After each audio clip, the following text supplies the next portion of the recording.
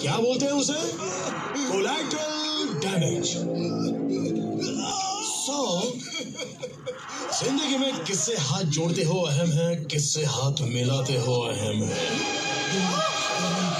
और किसका हाथ पकड़ते हो, वो ज़्यादा